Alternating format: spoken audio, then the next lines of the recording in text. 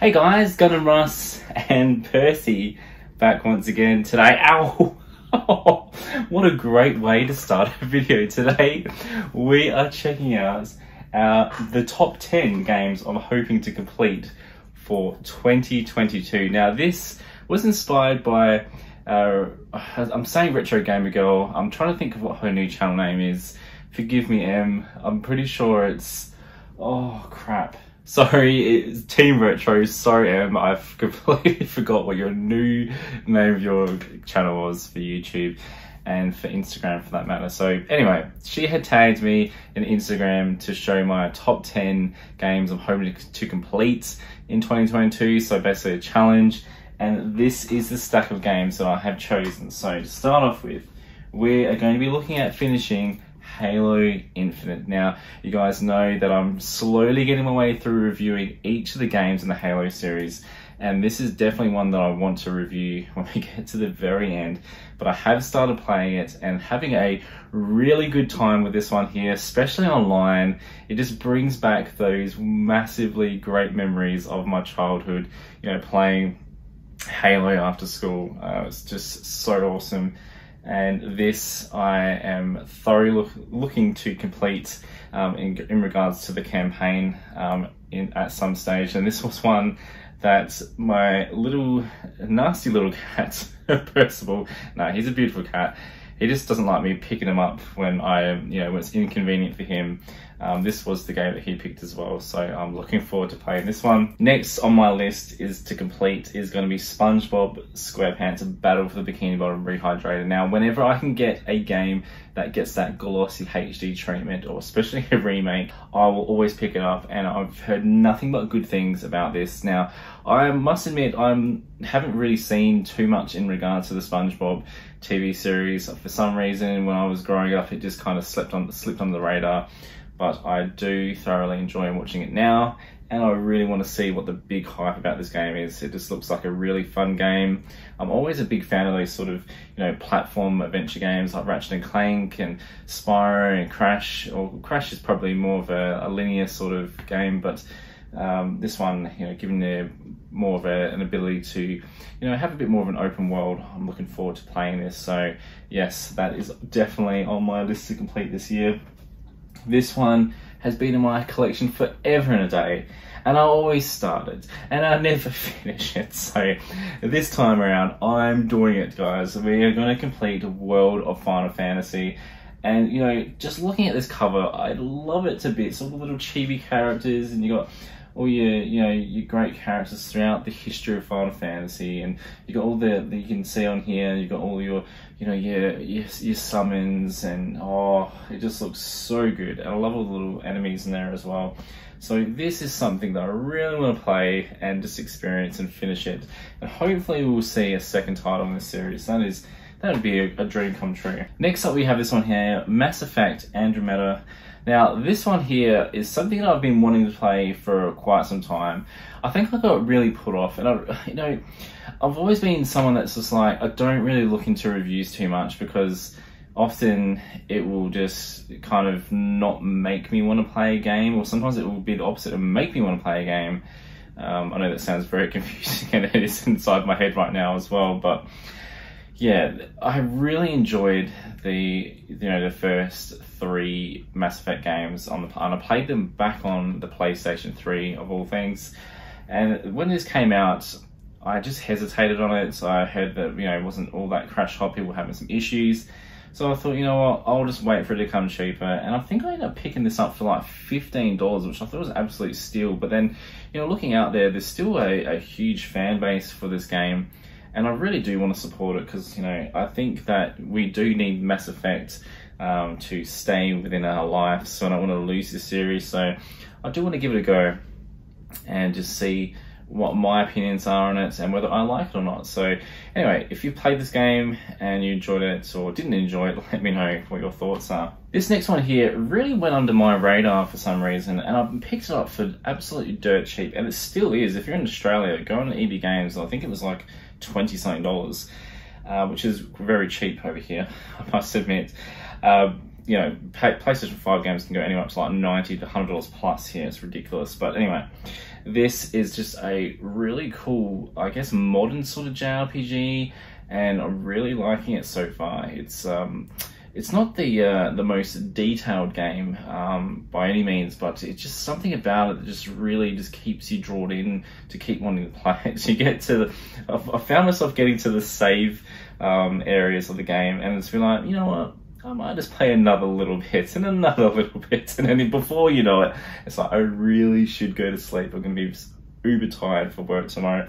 So that is a good thing. So this is definitely a game that I want to complete in 2022. And I know I'm kind of cheating because I've started, but trust me guys, um, I've still got a lot of gameplay with this one here to still finish off. Now this next one is something I know that Jess would be wanting to play with me and that is Assassin's Creed Origins. Whenever you throw in a game that has that sort of Egyptian vibe to it, I'm always interested. So this I'm super keen on and I can't wait to see what some of the enemies are. I'm hoping there will be some sort of like mummies in this. I have no idea.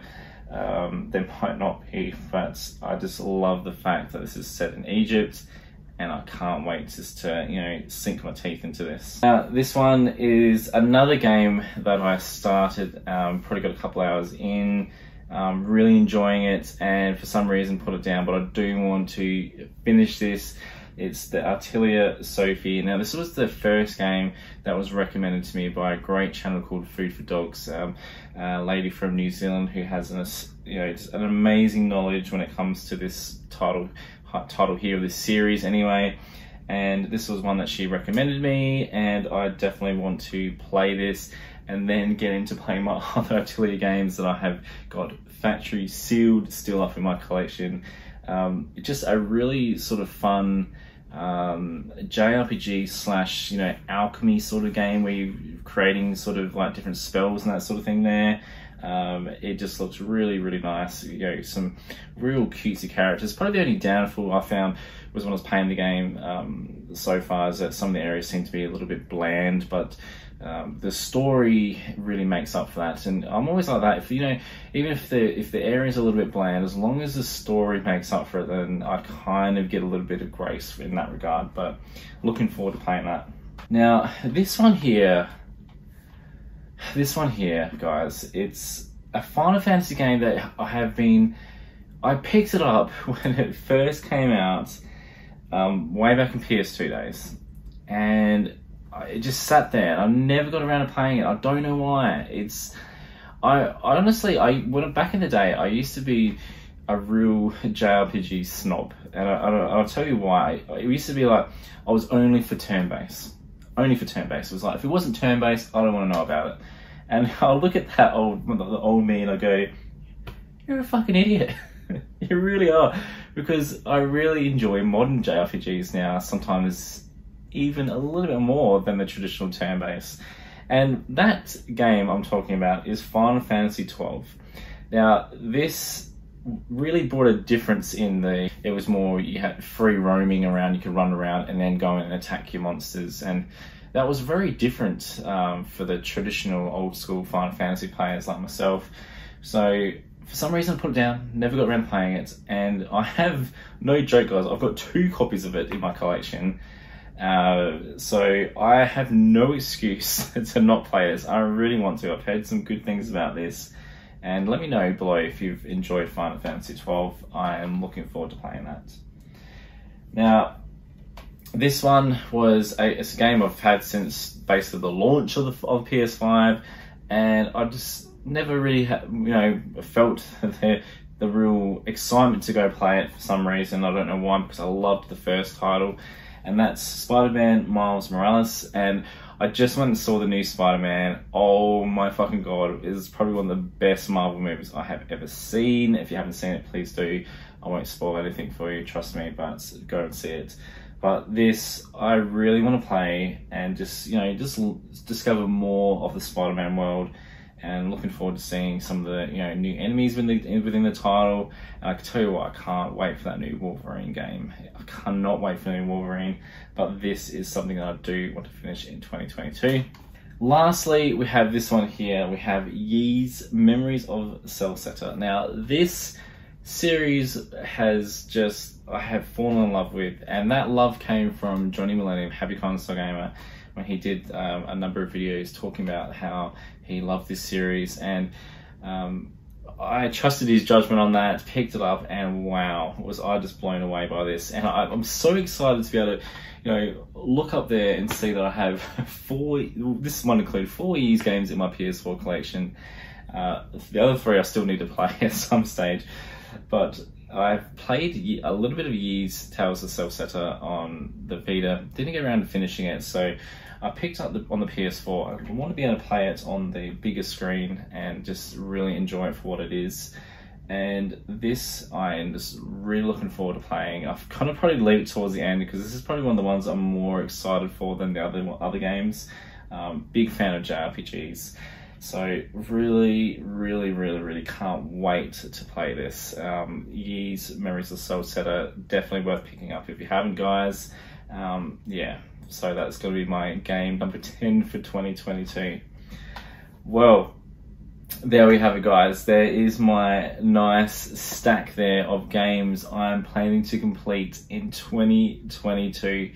Please, by all means, do a response video to this. Leave me a comment below of your top 10 games you hope to complete in 2022 and let me know throughout the year how you're going with that list. Come back to this video and tell me. I'd love to know the updates. And at the end of the year we're gonna go see how we finished up for the year. Did we manage to get through the 10 games or did we fail? I tell you what guys I'm gonna give it a real red hot go and try my best to complete all 10 of these games Alright guys, I'm Gundamruss Gaming. Thank you very much for watching and as always, don't forget to subscribe fools. See you later.